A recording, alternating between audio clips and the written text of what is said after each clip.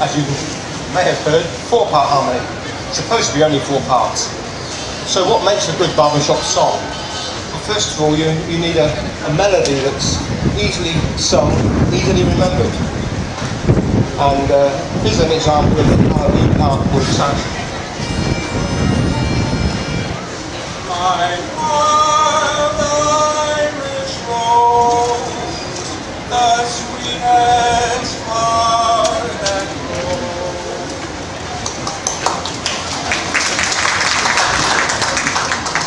So then we need a, a, a part under that, the bass.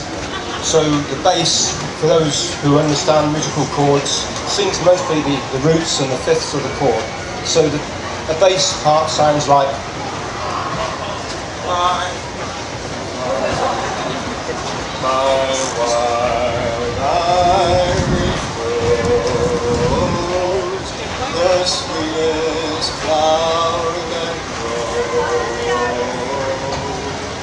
and together they sound like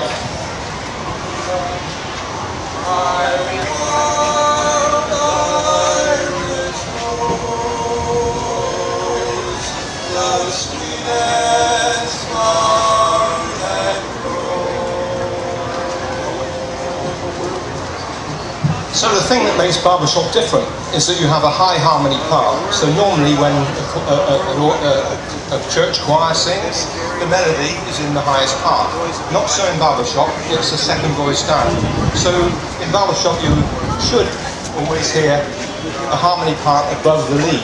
And this is what we call the tenor, and this is how it sounds.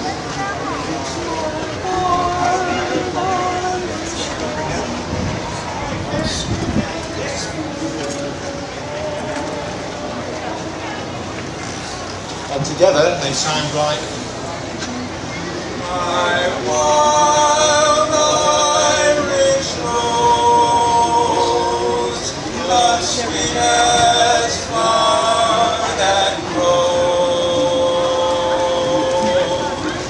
We're nearly there, but there's one magic ingredient, one magic part, which is the baritone part, and that sounds like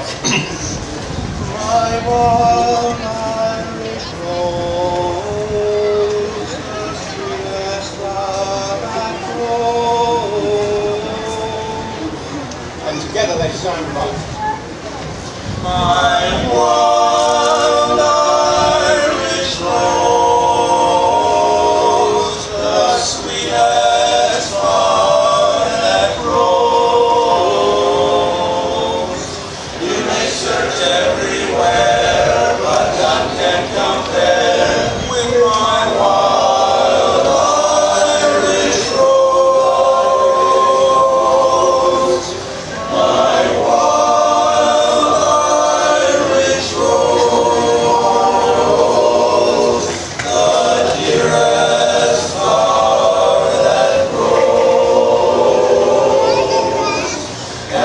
someday for